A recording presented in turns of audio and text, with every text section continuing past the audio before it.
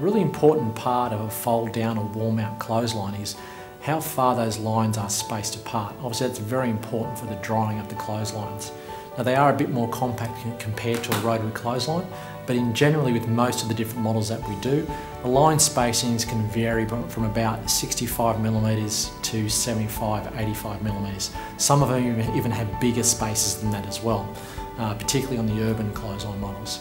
Uh, if you need to know a bit more detail about that though, just uh, give us a call on 1300 798 779 or just visit us right here at lifestyleclotheslines.com.au.